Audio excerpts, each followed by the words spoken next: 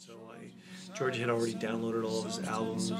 None of us in the family would would really consider ourselves musicians, but the thing that we all share that we can all really talk about together is the music. Um, it really pulled us in, and we could not stop listening.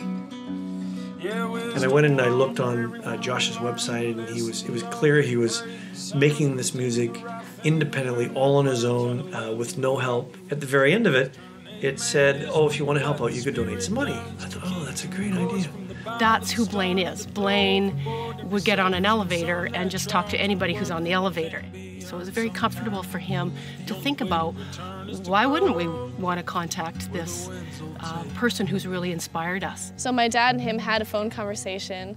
She said, "You can't, you can't just call up an artist like that, Dad. You can't do that." I said, "Yeah, you can. His, his, his phone number's right on the website. It's right here."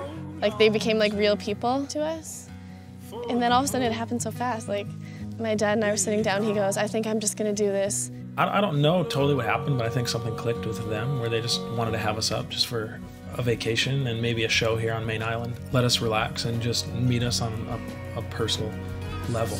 Yellow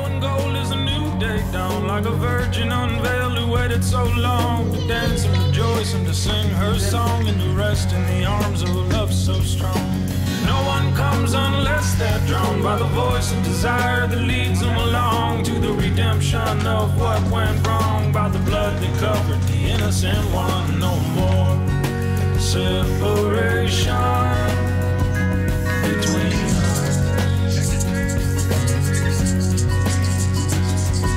lift your voice just one more time. If there's any hope, maybe a sign today.